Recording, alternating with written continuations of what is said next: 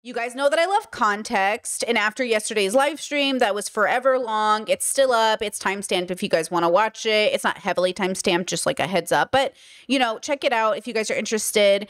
I love devi- like diving deep into these these subject matters. I think it's so interesting how people perceive things.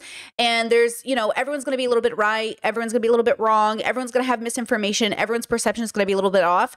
But the Frogan perception of her military comments is what I'm focusing on today. Again, we're observing. It's not about making excuses, it's not about promoting, it's about having a nuanced conversation that I think nobody is having because everybody's in their feels, which is so valid. Feelings are valid. I mean, you're not wrong for having feelings.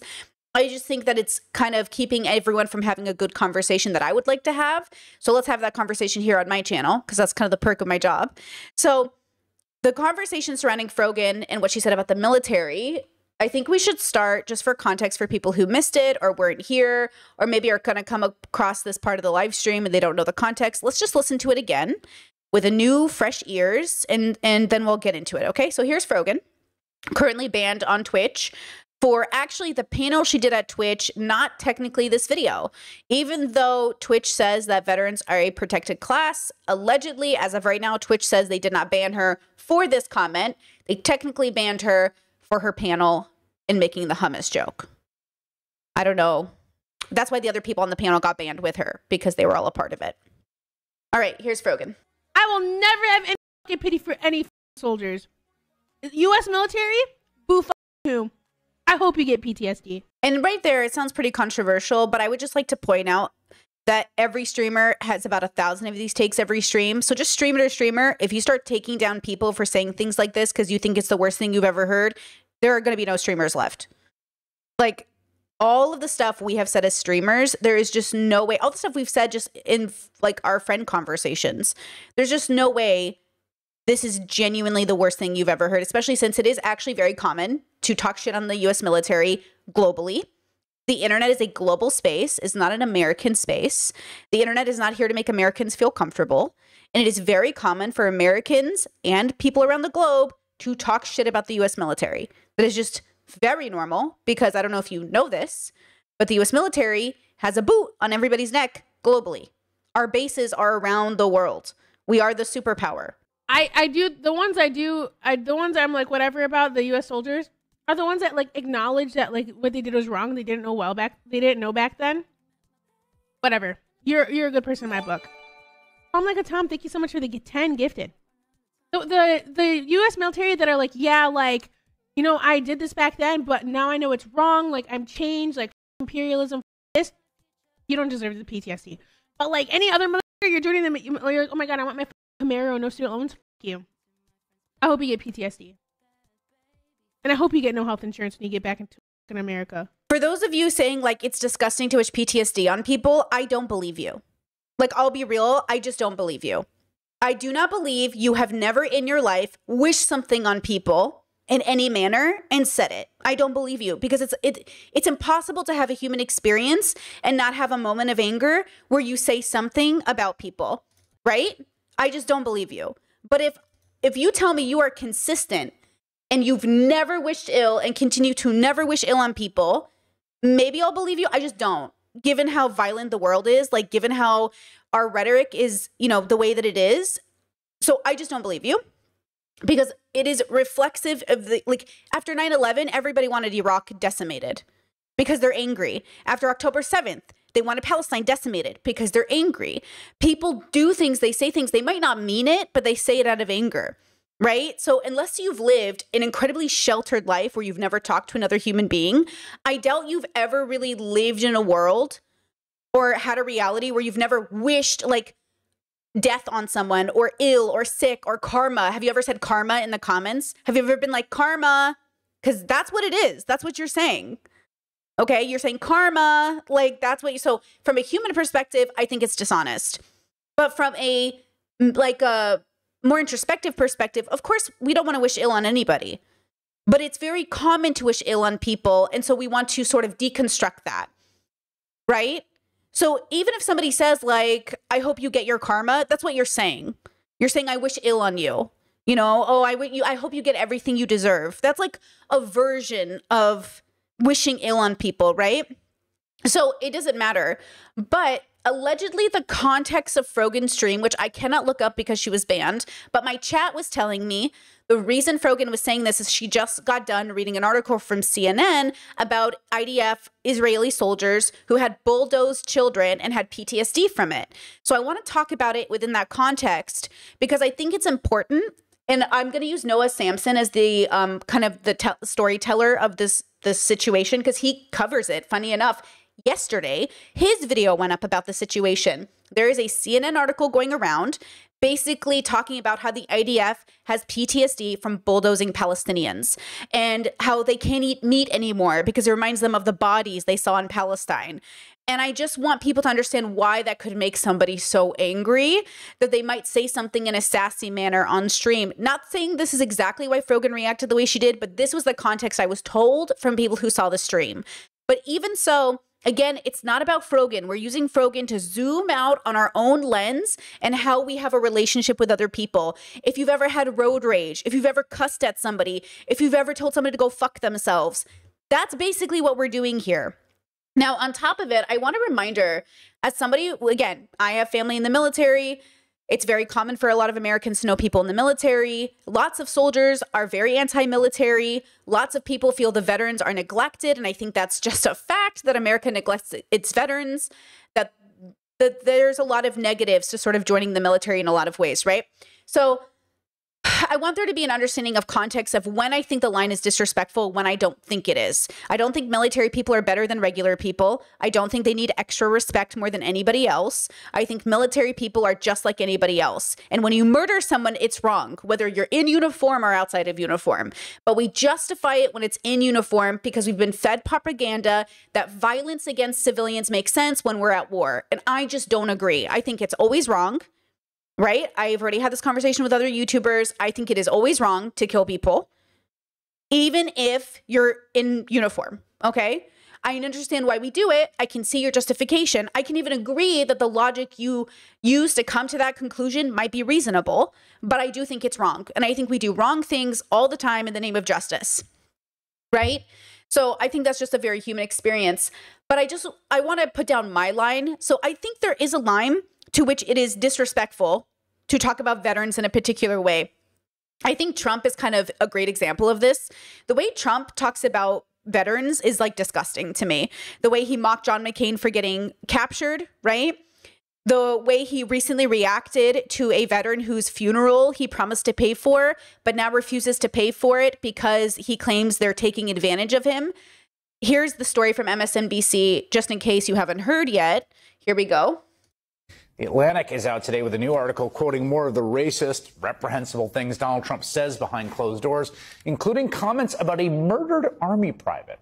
Anyone remember this story? In 2020, Private Vanessa Guillen, the daughter of Mexican immigrants, was killed by another soldier at Fort Hood in Texas. And this is what's crazy is right now the military is suffering from an insane amount of grapes and domestic violence charges from people in uniform. There's a reason why we say be careful dating somebody in uniform, to, to, be careful dating a cop, because these groups of people have some of the highest rates of domestic violence. So she was killed by another soldier, right? Texas. And at the time, then President Donald Trump publicly offered to pay for her funeral. But when the bill came, according to this report, Trump was furious telling his chief of staff Mark Meadows, quote, "It doesn't cost 60,000 bucks to bury an effing Mexican." He turned to Meadows and issued an order, don't pay it. Later that day, he was still agitated. Can you believe, he said, according to witness, effing people trying to rip me off? The Atlantic reports that Trump didn't pay the bill. His campaign denied he made those comments. You, of course, can make up your own mind as to whether or not that sounds like something Donald Trump would say and do. Okay. So, kind of interesting. The Atlantic is out. Pause that. So, you know, you can go after streamers all you want for saying sassy shit, but at the end of the day, like, dr- dr- like Trump is running for office and he has infamously made fun of military soldiers. And for people to chess a 60K, what the fuck? I'm going to be honest with you. Everybody, I don't know if you've been paying attention to funeral costs, but funeral homes are scamming people and they are charging people outrageous amounts of money to do funerals. People can't afford to bury their loved ones. So I'm going to be real. I don't know if it's unusual when coffins can cost anywhere from 10 to 30K. Do you know that? Do you know funeral homes are taking advantage of people at their most vulnerable? And that here was a billionaire saying he'd pay for it and he's yelling at 60K. Like that's the irony, right?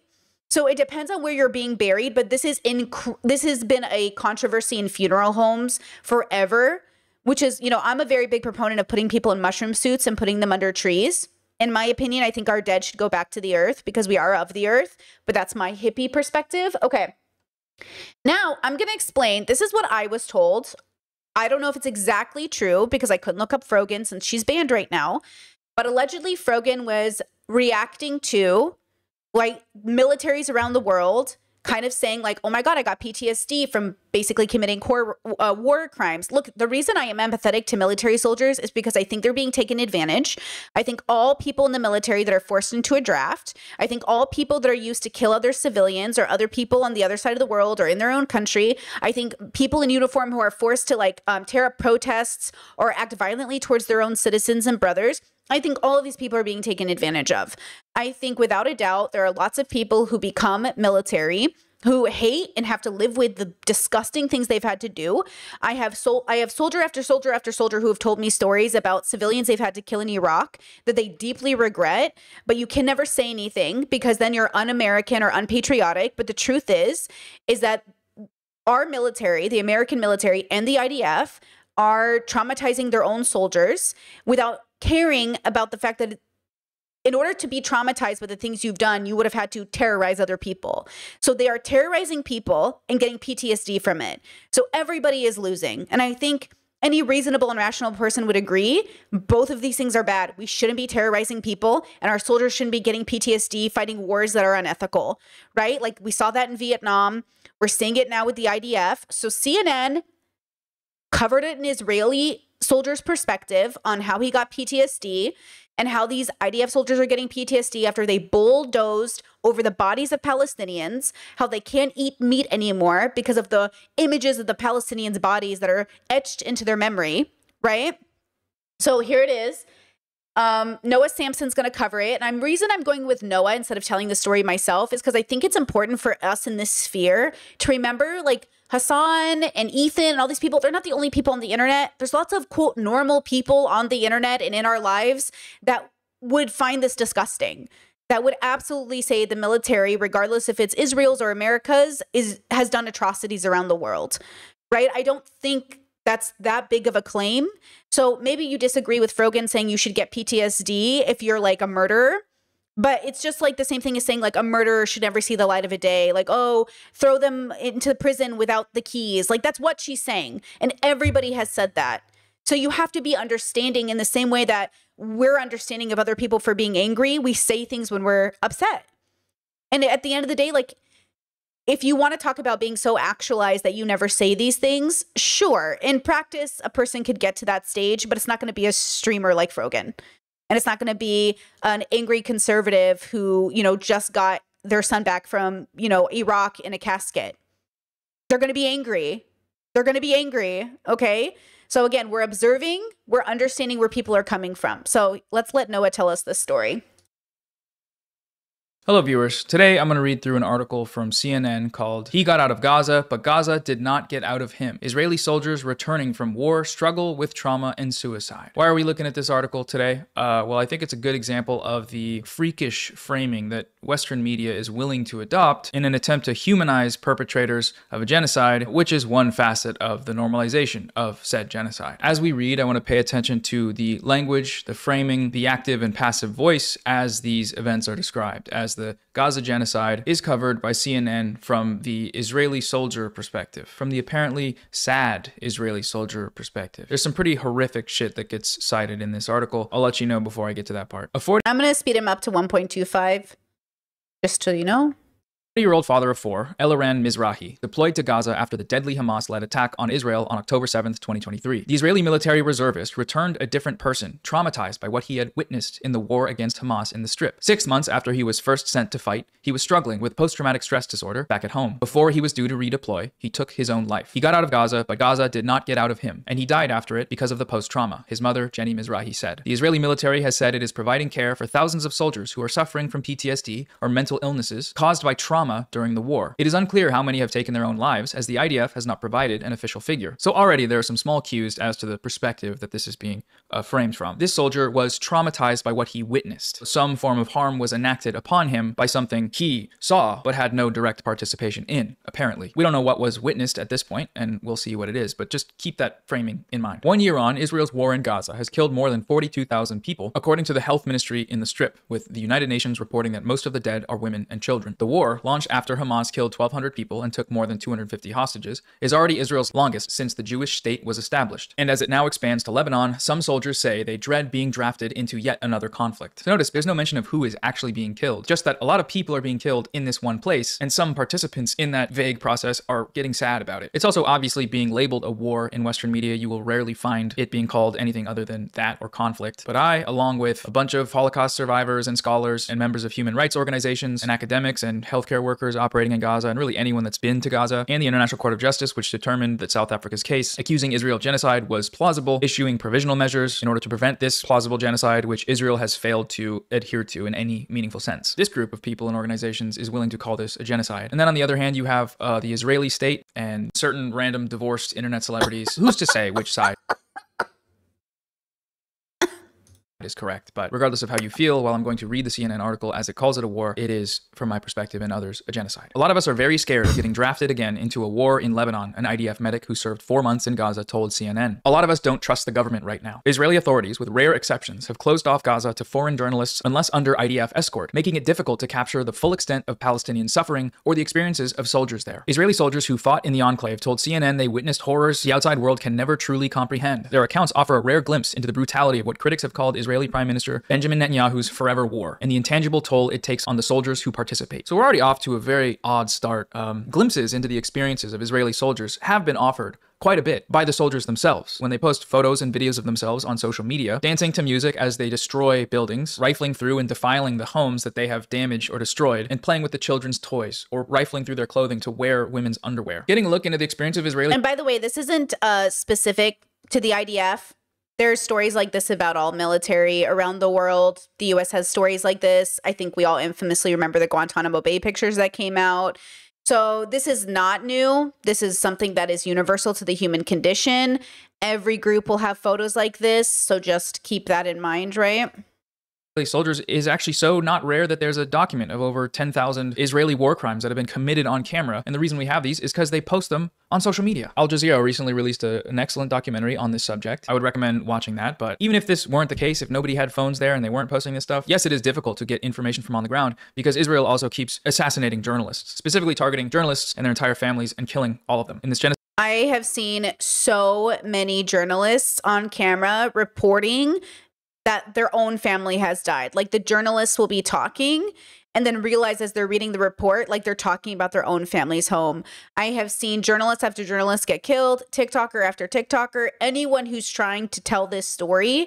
Um, I even heard a story about an American Palestinian that reached out to Israel for help to get out of uh, Palestine, and Israel just bombed that particular location. That's what I've heard. Can't verify it. I wasn't there.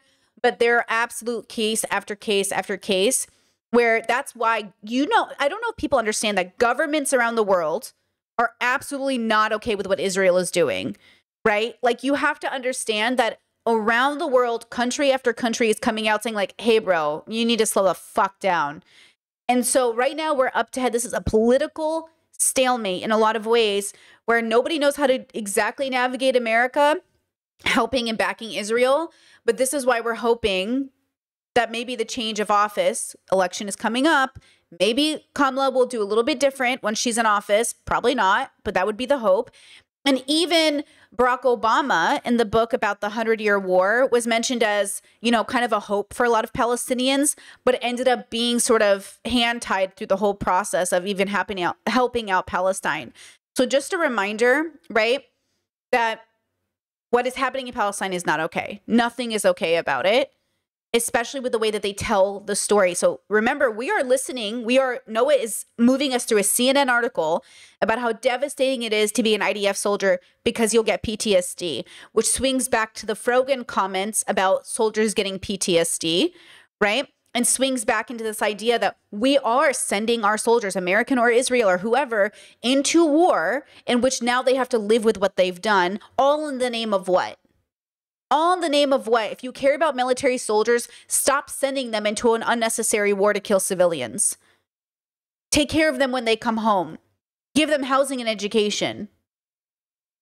We are literally setting up our soldiers for failure by sending them into places to kill people they were they should never have come in conflict with genocide. We've seen the most journalists killed in a conflict in modern history. And we do have so much footage of these atrocities, both from the victims and from the perpetrators. So just imagine how much worse things are on the ground, given that Israel is so murderously restricting the people's ability to cover what's happening, to tell the truth about this. For many soldiers, the war in Gaza is a fight for Israel's survival and must be won by any means. Yeah, I mean, that kind of goes without saying, right? What they mean by any means is murdering a bunch of children, blowing up hospitals, destroying everything in sight. That's what that means. But the battle is also taking a mental toll that, due to stigma, is largely hidden from view. Interviews with Israeli soldiers, a medic, and the family of Mizrahi, the reservist who took his own life, provide a window into the psychological burden that the war is casting on Israeli society. Sorry, but just if you're aware of what's going on, this is just do Nazi soldiers need better help? Could our genocide be more efficient if we just went for a morning walk every day to improve our mental health? Mizrahi. And by the way, can I just to bring out my Jordan Peterson? The Nazis suffered. The Nazis suffered. Like the Nazis did suffer.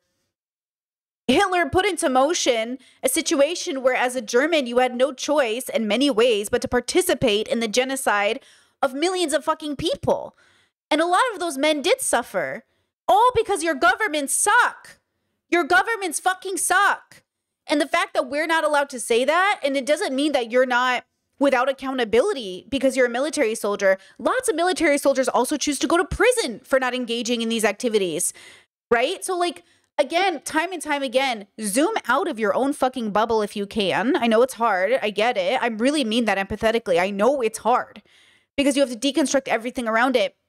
People are suffering, whether they're in uniform or civilians, but you are sending these uniformed men into these situations. And then they come back, and you want us to give them all of the love and support without acknowledging what your patriotism has done to civilians around the world and it feels a little bit disingenuous, right? This is very hard to comprehend for people. Chris with the super chat says Cold War veteran. Are you a Cold War veteran? Represent. Thank you for the super chat. So, when we have these conversations, we have to acknowledge that it's not a joke what's happening. We joke about it to cope. So much of our life is coping through humor. And we do. We cope all the time. We joke. We make really dark jokes because honestly, it is very overwhelming to remember that, oh my God, look at what we're doing. We're doing it to our soldiers. We're doing it to Palestinians. We're doing it to our people. And then we have the audacity to divide them even further, to, to make us hate each other even further. And for what? Probably money. But money is not the root of all evil. Your ego is, your fear is. And so here we are Stop encouraging your kids to join the military just because you want them to get out of poverty. Find another way. Okay? Stop encouraging your kids to join the military. It's not patriotic. It's basically signing up for mental health problems and no resources by the end of it. Stop telling your kids to sign up for the military just to win gold stars in your neighborhood. For what? He deployed to Gaza on October 8th last year and was tasked with driving a D9 bulldozer, a 62 ton armored vehicle that can withstand bullets and explosives. He was a civilian for most of his life, working as a manager at an Israeli construction company. After witnessing the massacres committed by Hamas, he felt the need to fight, Jenny told CNN. The reservist spent 186 days in the enclave until he sustained injuries to his knee, followed by hearing damage in February when an RPG struck his vehicle. He was pulled out of Gaza for treatment and in April was diagnosed with PTSD, receiving weekly talk therapy. His treatment did not help. They didn't know how to treat the soldiers. Jenny, who lives in the Israeli Ma'ale Adumim settlement in the occupied West Bank, said, Oh, that's great. So not only did they find a colonizing murderer's wife, they found a criminal colonizing murderer's wife because that's illegal. Not that the state of Israel is legitimate by any means, but the West Bank settlements are, you know, illegal under international law. These are the most. Chet says, if people weren't joining the military, there would be a draft. The draft should be illegal.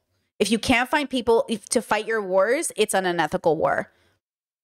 Either we truly are ready to fight this war. It's like Republicans and, and fucking anarchists who are like, I can't wait for a civil war. I'm sorry, are you a fucking psychopath? Do you want to kill your neighbors? That's what I'm saying. People don't understand what a red flag they they sound like when people are like, I can't wait for a civil war. I don't want to kill you. Why do you want to kill me? I don't want to kill my neighbors. I don't know why you are like getting wet at the idea of a civil war. Like you want to kill people, bro? You are so delusional about what kind of horror you are wishing upon humanity to say that I can't wait for a civil war.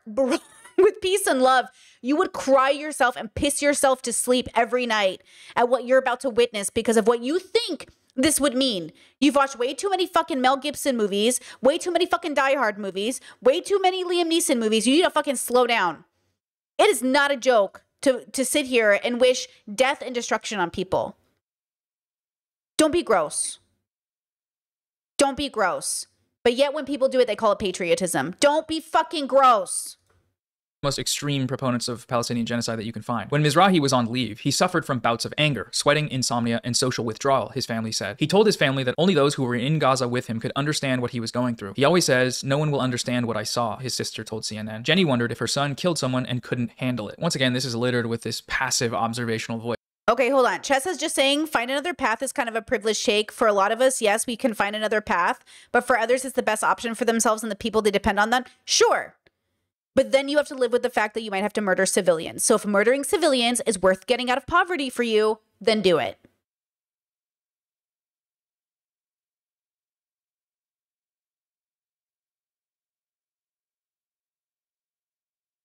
No one will understand what I saw. Okay.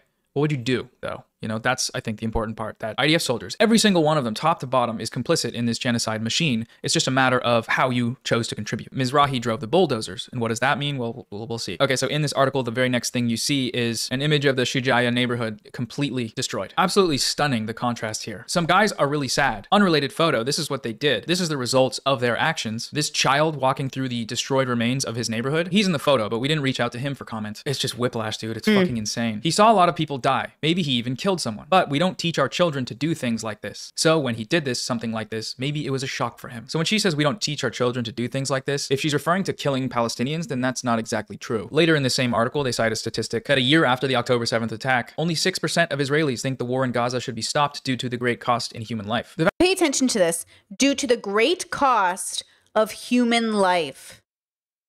This is what's at stake here. Human life. 7th attack, only 6% of Israelis think the war in Gaza should be stopped due to the great cost in human life. The vast majority of Israelis do not give a fuck about dead Palestinians. So why is this person acting like volunteering for the military to go kill them is any form of contradiction whatsoever? It's not. Mm. It's built into the society. Guys, it is. And it is. That's where my empathy comes out. My empathy does come out when I know, and I know this is the bubble take, and this is why I think bubbles are so important. I have a lot of empathy for people that have been indoctrinated into patriotism who think this is what patriotism is, this is what's good, this is what a good person does, this is what a real man does. Uh, my heart goes out to you. It does. But that's why I say the benefit of popping the bubble is recontextualizing perspective. But I can't ask the world to do this when all of human civilization that we know of was built off adhering to these bubbles. And everybody lives in a bubble. I live in a bubble. You live in a bubble. We all depend on perception. And a bubble is just the perception in which we comprehend ourselves and others. So we are all limited, all of us, me, you, your mom. I saw her last week. She says hi. Listen to me when I say this, okay? There is a time to be empathetic to military soldiers, but it's not in comparison to the people they have bulldozed over. Zaken, Mizrahi's friend and co-driver of the bulldozer, provided further insight into their experience in Gaza. We saw very, very, very difficult things, Zaken told CNN, things that are difficult to accept. This is where things get pretty disturbing, so content warning for violence, death, and gore. The former soldier has spoken publicly about the psychological trauma endured by Israeli troops in Gaza. In a testimony to the Knesset, Israel's parliament, in June, Zaken said that on many occasions soldiers had to run over terrorists, dead and alive, in the hundreds. Everything squirts out, he added. Zaken says he can no longer eat meat, as it reminds him of the gruesome scenes he witnessed from his bulldozer in Gaza and struggles to sleep at night, the sound of explosions ringing in his head. When you see a lot of meat outside and blood, both ours and theirs, in quotes, Hamas, then it really affects you when you eat, he told CNN, referring to bodies as meat. So this is the most freakish thing I've ever read in an article. What he's Bro. describing here is torture and execution. There's a plethora of evidence of footage and images of the results of what he's talking about. Perhaps one of the more famous cases of the um, flattened remains of a Palestinian man run over alive by one of these Israeli bulldozers. And in the images, you can see that his hands are still zip tied. There was also, of course, Rachel Corrie, the American peace activist, who, while protesting the destruction of buildings in Gaza by the IDF, was killed by a soldier driving one of these same bulldozers. Some Israelis celebrate on this day every year by making pancakes with Rachel Corrie's face painted in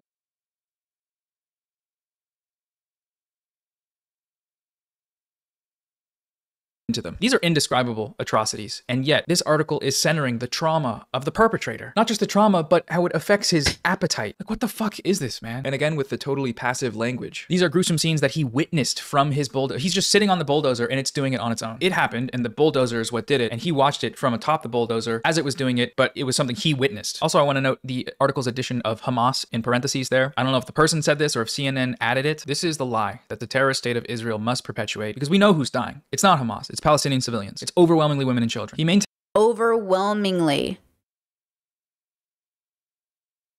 Humans are so capable of so many things. So, just a reminder getting pissed at Frogan for making a sassy joke or sassy statement, even though she clarified when this is what she's consuming and this is what we are saying.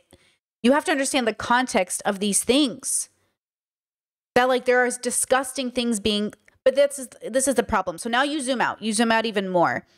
Regardless, these pancake losers, I don't want anything bad to happen to them because that's not going to help anyone come back from the dead. Like, it's not going to help anyone come back from the dead, right? It's just not. But that is the way I would not talk to that person ever again, bro. Like, that is not helping. That is not harm reduction. Okay. That is not harm reduction. I want nothing bad to happen to those people, but that is not harm reduction. That is not good. There's just nothing about that that's helpful. Now, Frogan, it's not that her joke was helpful, but I don't think in that moment it was out of context. Like, I think it could kind of just make sense for the context, right? Now, if Twitch wants to ban her for that, which apparently they did not, that's also their prerogative, their private business, right? So you can do whatever you want with that information. Maintains that the vast majority of those he encountered were terrorists. The civilians we saw, we stopped and brought them water to drink, and we let them eat from our food, he recalled, adding that even in such situations, Hamas fighters would shoot them. Really? Attacking people that are just trying to get some food? Come on, guys. That's really bad. That's really Hamas of them. Eyewitnesses on the scene have told us that Israeli tanks as well as drones opened fire on this crowd. So there is no such thing as citizens, he said, referring to the ability of Hamas fighters to blend with civilians. This is terrorism. Okay, so now we have a little insight as to why the Hamas label was added. It's because there's no citizens, right? Another genocidal lie that they have to tell themselves, that their leadership tells them in order to continue with this project. When soldiers do encounter civilians, however, many face a moral dilemma, according to the IDF medic who spoke to CNN anonymously. There was a very strong collective attitude of distrust among Israeli soldiers toward the Palestinians in Gaza, especially at the outset of the war, the medic said. There was a notion that Gazans, including civilians, are bad, that they support Hamas, that they help Hamas, that they were hiding ammunition, the medic said. In the field, however, some of these attitudes changed. When you actually see Gazan civilians in front of your eyes, they said, You know, I don't believe this for a single moment, but even if it were true, whatever attitudes may have changed in the minds of these soldiers have resulted in what? Nothing. Nothing has functionally changed. They are still committing genocide, they are still posting about it on TikTok. Our country is still unconditionally supporting it, and the only reason this line is being printed into a major publication is to, in some small ways, obfuscate all of those facts. The IDF has said that it does all it can to minimize civilian casualties in Gaza, including by sending text messages, making phone calls, and dropping evacuation leaflets to warn civilians ahead of attacks. Despite this, civilians in Gaza have been repeatedly killed in large numbers, including when sheltering in areas the military itself has designated as safe zones. So look how these two things are presented, right? The IDF said this, the evidence shows that they're actually lying and they're actually murdering a lot of people in some of the most heinous ways possible. Those are just two I agree. Chet says this is Vietnam all over again. I do think this is just this is gonna and people called it like a year ago. Like people called it the moment October 7th happened. They're like, dude, this is and it is okay. We're like witnessing history, but we're always witnessing history. Right? Like we're always in history, all of us. And look, we're not gonna be remembered. No one's gonna remember us. But history will remember this moment. And it will be, I think, a deep regret of many people. Remember that like Hitler had his fun time for like five years before the US intervened because it became a problem for us, not because we're some moral, amazing people that went in to save the Jews. It's all about politics. When it interests us, we'll get involved. When it doesn't, we're happy to let people be slaughtered. And in some ways, politically, fine. I can make, again, I'm very good at bubble hopping. If you want me to think of it only from a political perspective, I'll give you what the answer is because politics is about winning. If you want me to give you the moral answer, then no, this is immoral. This is immoral. The dilemma is that morals are subjective. And so we have to have conversations with that awareness. But people think God made them. They think the universe brought them here. They think, you know, like magic, you know, brought them into existence. They think they might be in the matrix or whatever else. It's like all of these all of the issues that human beings have is sort of like self-created because we again we put like we create these constructs and then we add this meaning to them and then we decide we have to live and die by this construct. But it is what it is. So then that's why my work is centered around the individual not feeling crushed under the weight of this realization because I know it can be overwhelming. Like when I watch these videos, I I really I'm a crier. I cry at 9/11 videos, I cry at Palestine videos, I cry at October 7th videos. I cry at videos of people being hurt very easily. My partner always tells me stop thinking about sad things, but it's very hard when I'm like doing this for a job and then I'm like re and then I do it on my free time. My mom said this since I was a child. Brittany would read about somebody in a different part of the planet and just start crying for them. How could you not? Because I, my brain, I don't know this is a universal experience, but my brain can really imagine being that person. So then my brain is like, I start to feel a tightness in my chest and I start to feel like this overwhelming sense of pain. And then I have to realize, like, regardless of the chaos around us, we can be good people. So many people are being bulldozed right now and they will not become cruel people. There are Palestinians right now who will remain good and and lovely and compassionate people even while they're suffering. And those are the people that I want to make sure that I that I focus on of like wanting to be that. I want to be compassionate even the world isn't being. Right? Chat says, Brittany, I thought you were a boy. Boys don't cry. Well, this boy does. Okay. This boy cries, okay? two perspectives for you, the reader, to consider. Anytime you see, well, here's what the IDF said, it takes one search to find out that all of this is a lie. The mental health toll in Gaza is likely to be enormous. Relief groups and the UN have repeatedly highlighted the catastrophic mental health consequences of the war on civilians in Gaza, many of whom had already been scarred by a 17 year blockade and several wars with Israel. In an August report, the UN said the experiences of Gazans defy traditional biomedical definitions of PTSD. Mm. Hold on, sorry. Chad says I never really cried because it felt intrusive and violating to try and involve myself emotionally into other situations without being a part of it.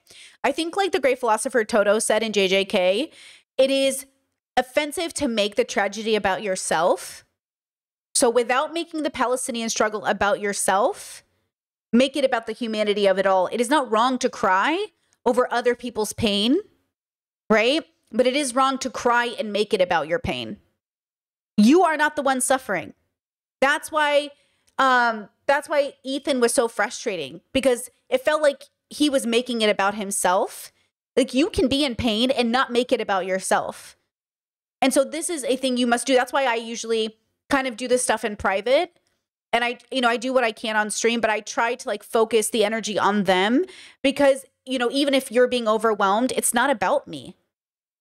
I'm a privileged American living in Europe right now. Like, I'm not in this conflict. I'm not being impacted by this conflict. I have friends, I have connections who are being impacted, but like, I'm not being impacted.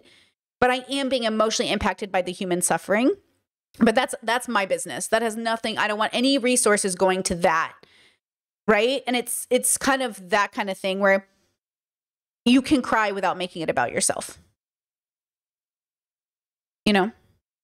TSD, given that there is no post in Gaza's context. I mean, this line is just chilling, an outright admission that the suffering will never end, that this is genocide. This point just gets dropped in the article, and then it's immediately followed by turning back to the mental health of the person doing this, right? The IDF soldier. After Mizrahi took his own life, videos and photos surfaced on social media of the reservist bulldozing homes and buildings in Gaza and posing in front of vandalized structures. Some of the images, which were purportedly posted on his now removed social media accounts, appeared in a documentary that he was interviewed for on Israel's Channel 13. His sister, Shur, says she saw a lot of comments on social media accusing Mizrahi of being a murderer, cursing at him, and replying with unpleasant emojis. It was hard, she said, adding that she tried her best to overlook it. I know he had a good heart. Oh my god, dude. Unpleasant emojis. That that's what we're talking about? That's what was hard to you. You know, when you say your brother had a good heart, you're wrong. He didn't, and neither do you. Because what the fuck are you talking about? He posted war crimes. They don't list the document.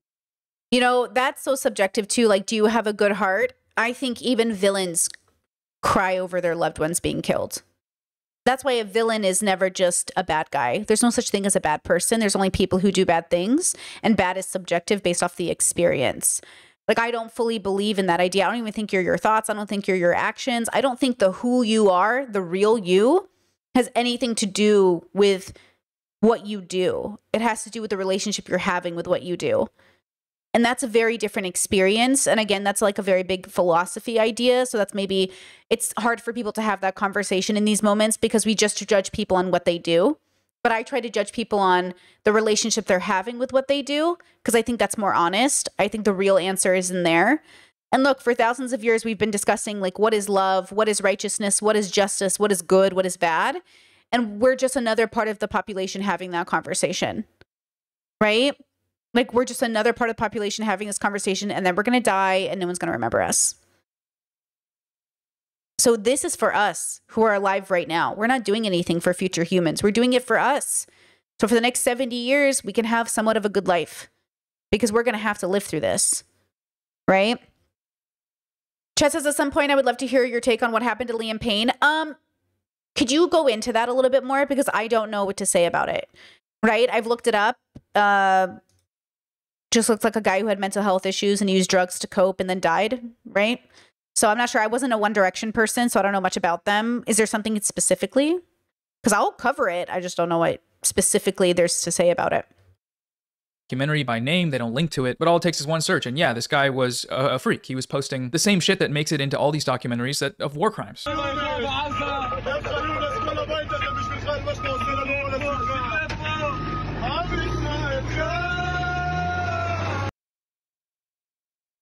Is that their is that their like chant cries? This house is for you, all of you do for us? Singing Eyal Golan song? I don't know what that is. Come on, take it down clearing dead people with debris. Ahron Bregman, a political scientist at King's College London who served in the Israeli army for six years, including during the 1982 Lebanon War, said the Gaza war is unlike any other fought by Israel. It's very long, he said, and it is urban, which means soldiers fight among many people, the vast majority of them are civilians. Bulldozer operators are among those who are most directly exposed to the war's brutality, Bregman said. What they see is dead people, and they. Okay, hold on. Let me give an example that might help. Uh, someone in chat said Liam was exposed for ex- uh, abusing his ex a week before he died. So let me give you the same example. Saying Liam, which I've seen, people said like, "Oh, he deserved to die. He was an abuser." Is exactly what Frogan is saying about military soldiers. You deserve the PTSD. You're an abuser. I think it's ugly. I think it's wrong. But I can see why they think that. Lots of people think things like that. Literally. I will I will the con this is such a normal take from people. I don't know why we're shocked by it. It's the what I'm offended by, not literally, but what I think is worth observing is the fact that people are pretending to be offended at Frogan when they know they say the same shit all the time. If you're offended at what Frogan said, then you better be offended at like so many other things everybody's saying on the internet, right? But like that's a very normal normal reaction. Like, oh fuck Liam, he was an abuser, he deserved to die oh fuck the military soldiers. They like kill civilians. They deserve ptsd it's like a very human perspective to say things like this. Not good but too common for me to believe the people are actually mad at her. It's just too common because i usually get people are usually very upset at me. People will make whole videos about me because i will say things like you shouldn't say this about people. And they're like what the fuck? Like i will say like eh, this is my line. People literally think i'm like some kind of weirdo because I'm like, nobody should kill anybody. They're like, what, Brittany? We have to kill people. What do you mean we shouldn't kill people? Like, people have the audacity to literally challenge me on whether or not we should kill people. So I know you can't be that fucking offended. Because the same people that think it's crazy that I'm completely anti violence are the same people advocating for violence when it's convenient. So y'all better make a decision on when you think it's okay. We all have a line in the sand, right? So make sure you know your line and then do what, you know, do with that what you will. And these are, by the way, great first date questions. Great first date question. What would you do if we had a trans kid? How do you feel about the IDF? Great first date question. How do you feel about Palestine liberation? Great first date question. Really tells you about a person. You know what I'm saying? Clear them along with the debris. They go over them. Again, this violence is framed as somehow being imposed onto these soldiers, these terrorists. They were exposed to the brutality. They see dead people, treated completely like the laws of nature, like an inevitable reality. For many, the transition from the battlefield back to civilian life can be overwhelming, especially after urban warfare that involves the deaths of women and children. Sorry, let's get a rewrite on that. For many, taking a break from committing genocide can be overwhelming, especially after entering into a concentration camp to repeatedly murder women and children. That's what's actually happening, but it's here summarized as a really tough time for these guys. How can you put your children children to bed when, you know, you saw children killed in Gaza. You saw it. You saw it. It just happened. I saw it. I don't know who did that. Despite Mizrahi's PTSD, his family said he agreed to return to Gaza when he was called up again. Two days before he was meant to redeploy, he killed himself. In her home, Jenny has dedicated a room to memorialize her late. I wonder if he was given the option not to redeploy if they would let him for his own mental health. Because I wonder if he just couldn't go back to there, which a part of me tells me like he must have like he must have really struggled. The fact that your military soldiers are committing suicide instead of going to therapy is a problem. That's a problem. The fact that a victim of October 7th killed herself is a problem, right? Like, that's a problem. And it needs to be figured out. But if this military soldier genuinely didn't want to go back, would he have been called a pussy for not wanting to go back? Would he have been jailed? Or would he have been given an opportunity to be like, what we're doing there is not okay? Because I don't know why he killed himself but it sounds like he wasn't given the option not to go son, with photos from his childhood and working in construction. Among the objects his mother has kept was the cap Mizrahi was wearing when he shot himself in the head, the bullet holes clearly visible. It then shows an image of Mizrahi as a child. This is obviously meant to invoke some sort of sympathy for this person, but all I see when I look at this picture is a reflection of one of the tens of thousands of children that this person grew up to participate in killing. The Israeli newspaper Haaretz reported that 10 soldiers took their own lives between October 7th and May 11th, according to military data obtained by the newspaper. Asked by CNN about the number of suicides in the IDF since the war, Uzi Bechor, a psychologist and commander of the IDF's combat response unit, said the medical corps is not allowed to provide a figure and the military sees the suicide rate as largely unchanged. The suicide rate in the army is more or less stable in the last five or six years, Bechor said, noting that it has in fact been falling over the past 10 years. Even if the number of suicides is higher, he said, the ratio so far is quite the same from the previous year because we have more soldiers. It doesn't mean that there's a trend of more suicide, Bechor told CNN. So I don't believe this for a moment Damn, because, well, bro. they don't show the statistics and it is within the IDF's interest to maintain a you know every time i watch an anime and i see a building go down i think how many people just died in that I always like I say it out loud as if I'm saying something interesting, but my partner's always like probably a lot. I'm like, how many people just died? Like how many people did these people just kill having this anime fight in this fucking scene in this anime? And then you see shit like this and you're like, I wonder how many people just died. I wonder how many people just died because what you're supposed to be focusing on is like the cool fight or like ooh, the big explosions. Um a bunch of people just died, bro. You know, yes, okay, you guys do the same thing. I bro, I do it every time. You know, in the Digimon movie, when they're fucking fighting in the streets, I'm just sitting here like, yo, a bunch of people just got trampled on by these like Digimon, bro. These people be these people be dead. All these Marvel movies, all these things. And we're just doing it in real fucking time. Look at us facade of strength. And no, these soldiers are not strong. They are notoriously weak, actually, incompetent pussies who hide behind screens and murder children from afar with Xbox controllers. But if evidence did come out that they actually were killing themselves in droves, that would at least be a sign that some of them do have enough of a conscience to see that the actions they've taken in Gaza are deserving of punishment in some form. And on the inverse, if it is true. The- Ooh, I don't believe in punishment. I don't believe we should punish people. I think you can hold people accountable without punishing, torture, or anything evil being done. I think it genuinely makes you a bad person, causing harm onto people who have done bad things. I think it's a net negative. So I don't think we should punish people. I'm I take a very strict stance on this. You can be held accountable without being tortured.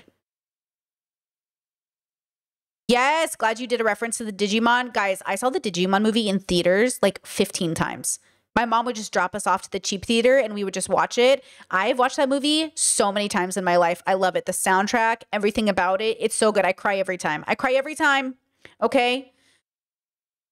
yes, Fishy. Fishy says punishment is a cycle. It really is. It really is.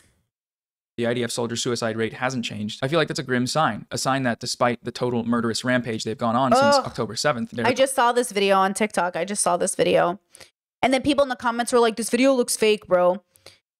Scooter says, How do you feel about punishing entities like governments, Brittany? I don't believe in punishing people. Punishing people is a very specific, I don't believe in hitting your kids, right? Because it's a punishment that doesn't, I don't think you should punish your children. I don't think you should punish people when they do bad things.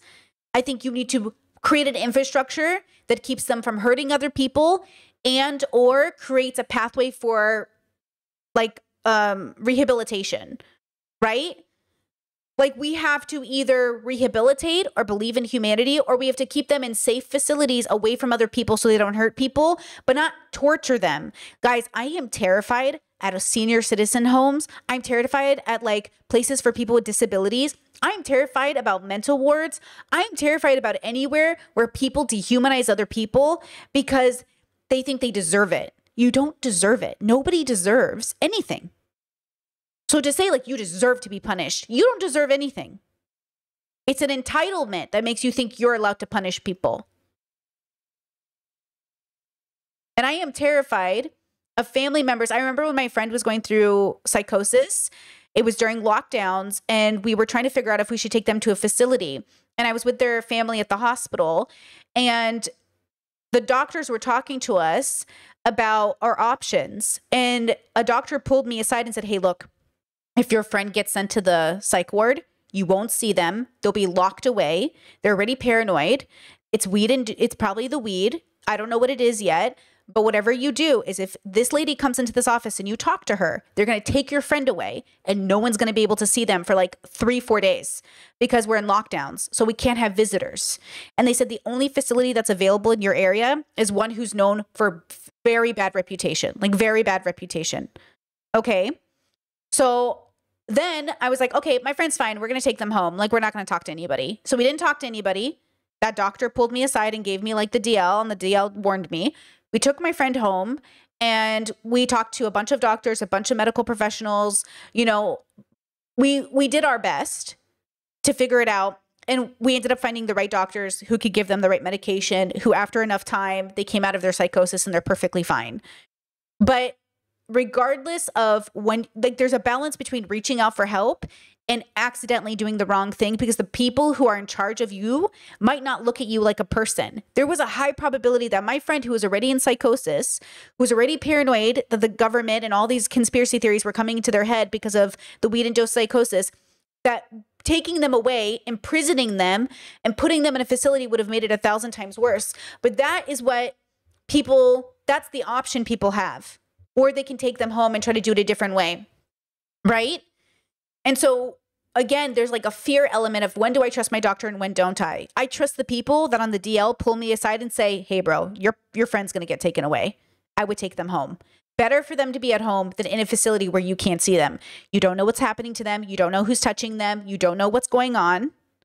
And it's just better if you take your friend home.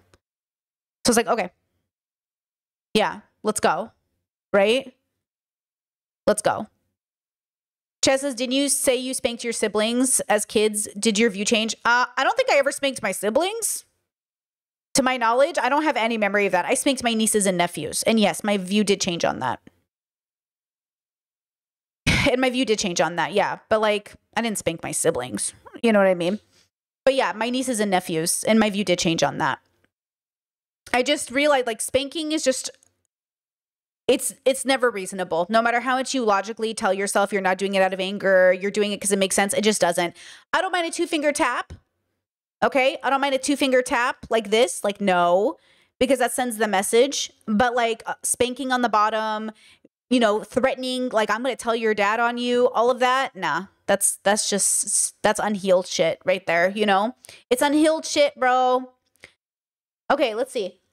Um, uh, and welcome to memberships. Abby says, what are we ought to do instead of punishment when there is wrongdoing as a society? Okay, just a reminder that I do not answer questions for society. Right, guys? Like, I cannot, I don't, I'm a fucking idiot. You're a fucking idiot. What do we know about fucking society? Like, who do we think we are to decide what 350 million people should be doing in America? What the fuck? Like, why do we even think we can answer this question? What can we truly, what knowledge do any of us have to truly answer this question? It's a good question. So I'm, I'm glad you asked it. But wh- what gives us the idea we could answer it?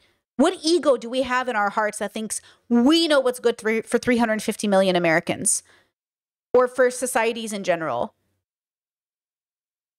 Like, that's the question we should be asking ourselves.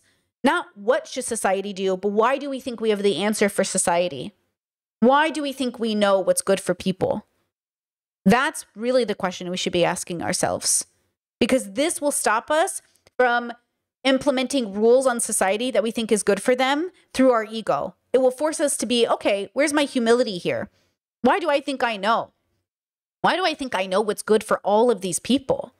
What what entitlement do I have in my ego that's telling me, "Oh yes, I know." That's that's really the the question I think this channel should should promote us thinking about, right? Because this is a philosophy channel. Okay, let's go back to the video. I'm so sorry. Here we go consciences have somehow adjusted to rationalize it. And that's a troubling thought, you know? Bechor, the IDF psychologist, said that one of the ways the military helps traumatized troops resume their lives is to try to normalize what they went through, partly by reminding them of the horrors committed on October 7th. This situation is not normal for human beings, Bechor said, adding that when soldiers come back from the battlefield with PTSD symptoms, they ask, How do I get back home after what I saw? How do I get to engage with my kids after what I saw? We try to normalize it and to help them remember their values and why did they go there to Gaza. For the tens of thousands of Israelis who volunteered or were called up to fight, the war in Gaza was seen not only as an act of self defense, but as an existential battle. That notion was touted by top Israeli political and military leaders, as well as Israel's international allies. Yeah, it was a good versus evil, remember? The children of light versus the children of darkness. They were all pretty clear about their intentions from the jump. So here we go again with these monsters having to tell themselves stories, having to remind themselves of the narrative that nothing could ever justify October 7th. But October 7th justifies everything. Anything you did, just remember what happened and all of it's washed away. You're absolved of your sins. Super important to note here that this is the power of spreading misinformation that demonizes not just Palestinians, but Hamas in general. The amount of misinformation that was spread about October 7th, you know, claims of 40 beheaded babies, claims of mass campaigns of sexual assault, all of which were proven false. We can, in this article, see. Uh oh, this is what Hasan was saying, and everybody was mad at him. So now Noah Samsen is saying it and giving resources. This is what we're trying to say. We're trying to say, did you fall for propaganda or was it happening and how was it happening? So Ethan would see this and say, Noah Samsen, an anti Semite. He's denying the rapes. But we're saying they were proven false, that it wasn't a mass situation, right? That like what you're, what, like a lot of information came out. And who knows? Right? Like, who knows exactly what was happening when there's too much bias and prejudice happening? It's very easy just to believe everything that you read. But this is why there's differing opinions on the situation. This is why Hasan is frustrated with Ethan because Ethan and Hila keep saying Hasan is denying the rapes. Hasan is denying the rapes. The organizations are denying the rapes. Like the rapes being used on mass or like in this in the way that it was contextualized through the media, right? So again, like you're doing this thing where you're getting angry at streamers or YouTubers, but like the entities are giving the the organizations are the ones giving the information. Be mad at them. Because what else are we supposed to go off of, right? We were we're not there. One of the results of such propaganda, which is a direct motivation for them to continue the genocide. These guys are downing themselves, and the IDF's therapists are using debunked New York Times articles to revive them, to keep them going on their killing spree. Netanyahu has described Hamas as the new Nazis, and US President this is interesting that they're calling Hamas the new Nazis. That's really, really interesting since eugenics played a, such a huge role in Nazi propaganda. And America and Israel have both engaged in eugenic oriented conversations. So I just think that's really interesting. I haven't heard a eugenics perspective from Hamas or Palestinians yet. I don't know if they're collecting sperm from dead soldiers to keep their bloodline going. I haven't heard that from them, but maybe. Um. Okay, let's keep going. I've read it. Oh, sorry. Ch- who's this? Chimsa man. Today's my 30th birthday, and I'm spending it broadening my horizons at the feet of the modern philosophy queen. Stop it. Thank you. Happy birthday, bitch. Happy birthday. President Joe Biden has said that the ancient hatred of Jews endorsed by the Nazis was brought back to life on October 7th. The external threats to their country unified many Israelis, putting on hold domestic political squabbling that had for months divided society. Meanwhile, the suffering of Palestinians has largely been absent from Israeli television screens, which are dominated by news about the hostages in Gaza. After the Hamas attacks, polls showed that most Israelis supported the war in Gaza and did not want their government to halt the fighting, even while negotiating to release the kidnapped hostages. On the one year anniversary of the October 7th attack, a survey published by the Israel Democracy Institute found that only 6% of Israelis think the war in Gaza should be stopped due to the great cost of human life. And that's really common. Most Israeli people believe, I think, if I'm not mistaken, in Zionism. Most want an Israeli state. Chat says, isn't an ethno state eugenics in and of itself? I think the uniqueness of Israel is a little hard to comprehend. I think all I think I'm deeply confused by it, if I'm being honest. Just because like there's too many layers. I don't know how to say it without I don't want to like accidentally dog whistle here. I'm just trying to say it is a little awkward. I think Israel's desire to desperately hold on uh in a way oh this is so hard to say. See i see everyone always says like oh you can say whatever you want against israel but like i think you you have to be careful on the internet. I just want to say from a humanitarian perspective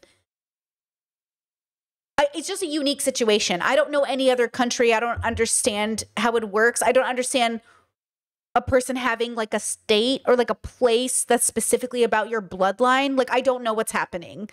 I'm like a little confused by it. You know, true. Chat says Nazis got eugenics from the USA. That's true. That's true. That's why I'm saying, like, uh, I don't know. Like, this whole idea. You remember when 2010 YouTube was happening and everyone was talking about IQ and eugenics? I'm so, I don't care about any of this stuff. I don't care about bloodlines. I don't care about IQ. I don't care about I don't I don't get it. I don't care I don't get it. I think people are people no matter who you are.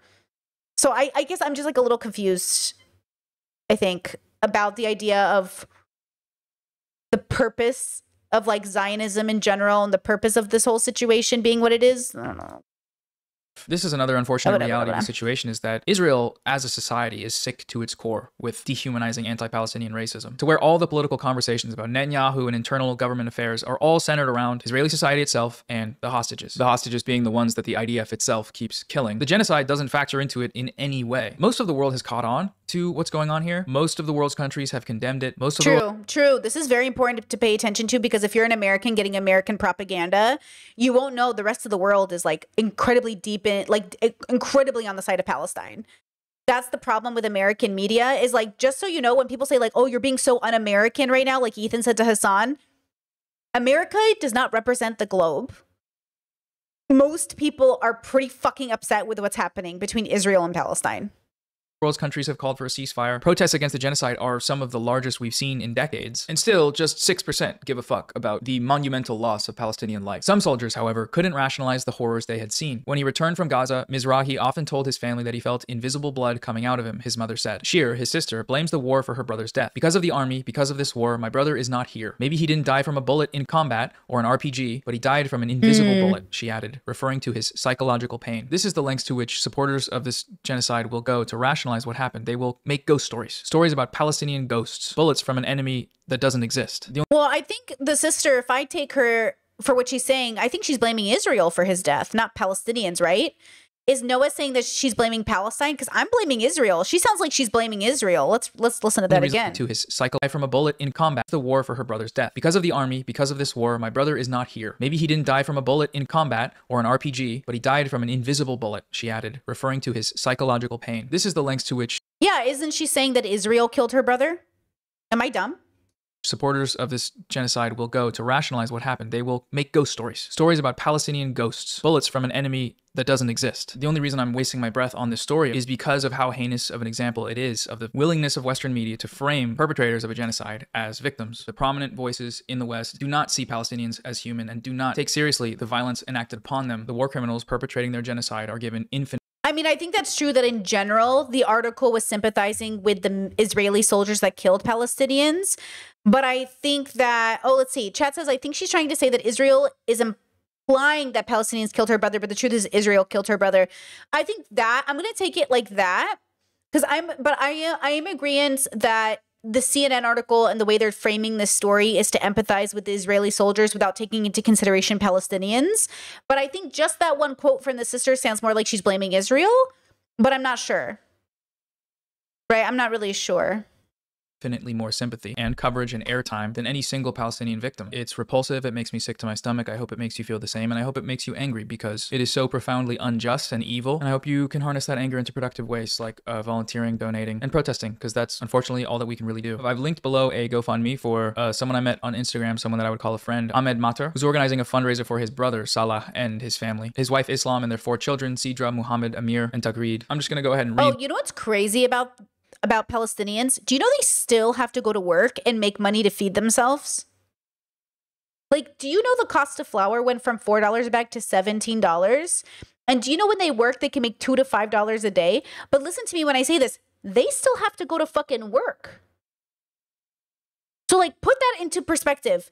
Your house has been decimated, infrastructure gone, and you still have to fucking go to work to feed your family. The price of food has gone up. They're look people are still selling food.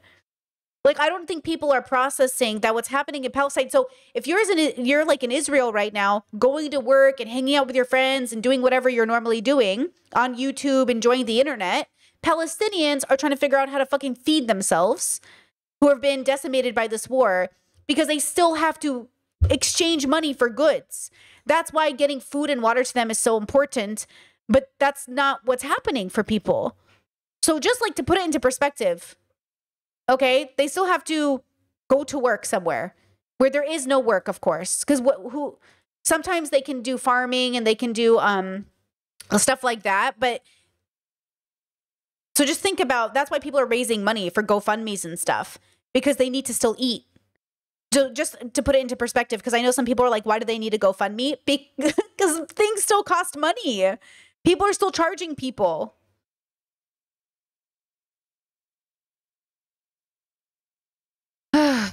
All right the message that uh, Salah wrote. The journey of our youngest, Tagreed, began amidst the chaos of November, during the peak of the assault on Gaza. It was a time of great fear and uncertainty. We found ourselves displaced for the second time, seeking refuge in a shelter where Tagreed came into this world. His birth brought both joy and worry, a tiny beacon of hope amidst the darkness of war. Once, the northern part of Gaza was our home, where the sea breeze carried the scent of olive trees and the laughter of our children echoed through the streets. But the violence of war shattered our peaceful existence, forcing us to flee not once, but four times. Each displacement brought new challenges, pushing us further into the unknown. Now, we reside in Rafah, a borderland caught between two worlds. Our home is a tent pitched on dusty plains near the Egyptian border, it offers little protection from the harsh realities of life in a war torn land. Every day is a struggle to find clean water, food, and basic necessities. Diapers for Tagreed are a luxury beyond our means, and we often must ration what little we have. Despite the hardships, we cling to hope for a better future. Your support can make a world of difference for us. With your help, we can evacuate to Egypt, where safety and stability beckon on the horizon. Your donations will also provide essential supplies like food, clothing, and medical care for my family. Furthermore, your contributions will assist us in rebuilding our lives by helping us purchase clothes and other essential items that we lost in our destroyed home in the north of Gaza. Your generosity offers a glimmer of light in the darkness, guiding us towards a brighter tomorrow. Thank you for your kindness and compassion. Together, we can turn our struggles into stories of resilience and hope. That's it for today's video. Let me know what you thought. Okay.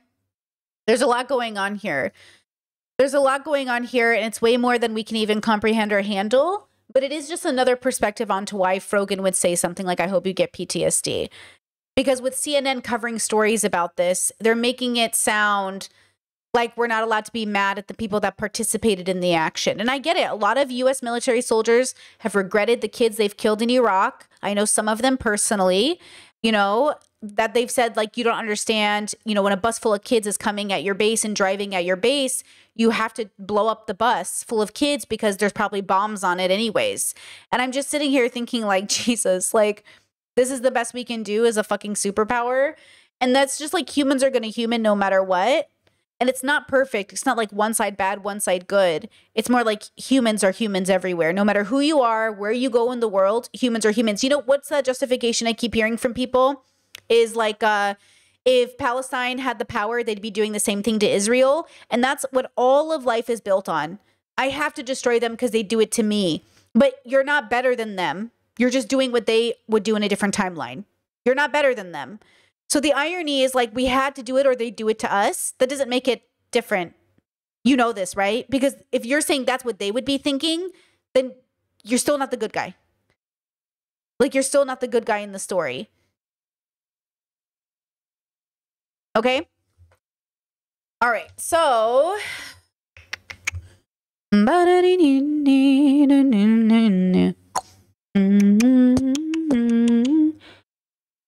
all right, that's out with that story. I'm going to go to a different story now. If you guys have any questions or comments, do them now about the subject matter. Then we'll go to an Andrew Tate story, and then we'll go to a story from um, kind of related to. Um, oh my God, my brain is just absolutely cooked. Holy fuck. You guys sent me a video you wanted me to watch. Uh, oh my God, why am I forgetting his name? D'Angelo Wallace. You guys sent me a, a video from D'Angelo Wallace you wanted me to watch. Okay, so we'll do that. Chess says, "Is there a good guy in any story? You, if you are always the bad guy in someone's story, I think it's all about perspective. I think good guys are bad guys and bad guys are good guys.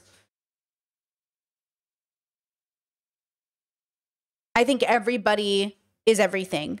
Now, I think there's a spectrum to within reason, outside of reason. And again, it's all about that harm reduction. How much harm are you costing? And then you have to kind of weigh it against that. It's like it's like homophobia or transphobia. Like I remember when J.K. Rowling was stepping into her transphobia, and I was giving her a chance because I'm a big believer in chance. And I'm like, hold on, she's just she's testing the waters of her transphobia. Maybe she won't go full TERF. And now, did you guys see her? She's a part of the LGB group and she's like advocating for basic she's full on full blown TERF. She's been a TERF for like a couple years obviously, but it's just like you can't this is who she is. She is a transphobe. And it's like she is causing so much more harm than good. And she is the bad guy in a trans person's story. She is. She is the bad guy in a trans person's story. And she is the good guy in a TERF story. But I think the harm she is causing is too great in comparison to the good she thinks she's doing. And I think that that is what's fascinating about experiencing people together because at one point J.K. Rowling was a hero to a lot of people from a lot of different backgrounds. Right? And now, well, she's just the bad guy to all those people with all those different backgrounds. And it is what it is. So I think she is causing more harm than good. But she is the hero in someone's story. I think she's just the villain in more people's stories. Chad says, so maybe if you're like the good guy in more people's stories than you are the bad guy in people's stories, then you're doing okay? Probably. Something like that. It's not, I don't believe in black and white thinking. as much as I'm a neurodivergent queen, I actually do try to stay away from black and white thinking, but something like that. I think so, which is hard because depending on who you talk to, and that's what's so like complex about the human experience. There's like, there are so many good examples of this, of really hor- horrific people doing horrific things um, who also have parts of them that are just so loving, it's hard to see them as the bad guy. It doesn't mean they're not. It just means it's all about that perspective. And again, for me, I try I try not to overreact. I try to be very grounded in my judgments. So I tried to say like I don't need to freak out over what people are doing to the best of my ability. When I'm medically triggered, triggered, it's one thing, but I'm not medically triggered most of the time, maybe once or twice a year, but like, you know what I mean? So if I'm in the most grounded perspective, then I think I am able to react with, okay, I can see that you're saying that. Let's kind of work together to to mitigate that harm. And that's the problem. People aren't coming from that perspective. They're freaking out. People are freaking out, and then you have to calm them down, and then you have to come up with a solution. But people are using their freaked outness to justify their reactions. I, you're allowed to be freaked out, but I don't think you should make any decisions while you're freaked out. It's kind of like don't make any permanent decisions after 2 a.m. Nothing good happens at 2 a.m. And nothing good happens when you're dysregulated. Don't make any permanent decisions when you're dysregulated. Wait until you're calm. You know? That's that's really that's really what I would suggest personally. Let's see. Discord says in 20 uh, the 2010 IQ era uh per- was particularly funny to my brain girl. Do you remember St- Stef- stefan molyneux or whatever? What a piece of crap. Love him. Just kidding. Don't love him. But you know what i mean? Like all humans are beautiful. But oh my god his content was the most brain dead. Chad's our Discord says went to high school with Charles Murray's son. His son would lay down in class and lick the floor. What the fuck? His dad was treated like a serious researcher by some, but it always felt to me like he was coping. His kid was really smart, just like there were other obvious issues going on. Oh, just felt like there were other issues going on. And leading into IQ makes people superior in a way to deny that. That's crazy, bro. Oh man. 20, 2010 YouTube was was crazy. You know, I don't know how you guys feel about it. I don't think now is more divided. I think 2010 YouTube was hard. It was very, it was, I think it was rougher than it is now. And just a reminder the internet is not America, it is a global entity. So when you see opinions from people on the internet, it's not going to always favor America. You're, the world isn't obligated. Americans aren't even obligated. We have free speech. We're not obligated to like America. That's the glory of America. We actually have free speech. We can say shit about our own country right? We we have a lot of free speech in America. Just a reminder. Parts of Europe do not. There are already things in Croatia that like very strict on, which is fair. I no problem. I, it's not gonna. It's gonna be more than easy to adhere to their laws. Germany very strict laws about free speech stuff. You can't just be, you know, like a Nazi in either of these places. Any any Nazi propaganda, you are in trouble, sir. In America, we protect Nazis. We are so free speech. Like it is an insane, like very unique place. So in some ways, it's like the most free place, and in some ways, it is incredibly backwards. And that is the conundrum of everywhere we live, right? That is like the conundrum. It's so it's. I love it. Like it's so interesting. Humans are so interesting. I love us. We're so fascinating. You know. My head, in real life, I'm in bed. My belly's being fed, and I'm okay. I'm just fine, yet all I do is whine. Not to you in my mind, cause I know I don't make sense. I've been nothing but blessed. So why's my life a mess? Please tell me, cause I'm sick of thinking.